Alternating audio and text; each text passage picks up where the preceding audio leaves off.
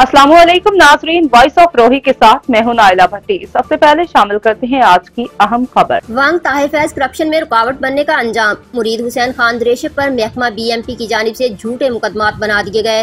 हुकाम वाला और निगरान वज़ीर अला पंजाब से इंसाफ की अपील। एक मीडिया सर्वे रिपोर्ट के मुताबिक जिला राजनपुर के अवामी, समाजी, मजहबी, सियासी हल्कों का कहना है की Murid Hussain Khan दरेशक, wireless operator B M P Rajanpur एक ईमानदार और अवाम दोस्त एहलकार है। इसको ईमानदारी की सजा दी जा रही रही है। महकमा के अफसरान ने इस पर करप्शन के झूठे इल्ज़ाम लगाकर इन पर मुकदमा दर्ज करा के इनको जेल में बंद कर दिया है। और मुरीद हुसैन बेगुनाह है और सबका तमाम इंक्वायरियाँ इसके हक में हो चुकी हैं। मुरीद हुसैन दरेशक का कसूर यह है कि उसने महकमा के अफसरान की मुबैना करोड़ों रुपए की करप्शन बेनकाब की थी और महकमा के अफसरान की मिली भगत से मुबैना करप्शन के अलावा इलाका पछाद वगैरह में चोरियों गाड़ियों की स्मगलिंग का धंधा जारी है। और बीएमपी राजनपुर की कारकर्दगी सिफर है।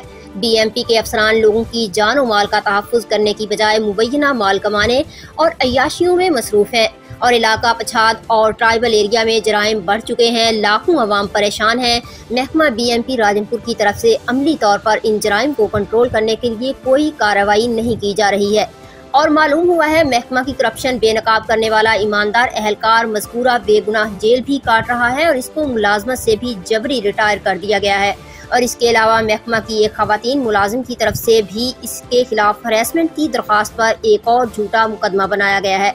अवामी समाजी हल्कों ने निगरान वजी अला पंजाब से मुतालबा किया है कि मुरीद हुसैन दरेशक के खिलाफ कायम किए गए झूठे मुकदमा खत्म कराए जाएँ और इनको फौरी रिहा किया जाए। अब तक के लिए इतना ही। मजीद खबरों और अपडेट से बाखबर रहने के लिए देखते रहें वॉइस ऑफ़ रोही न्यूज़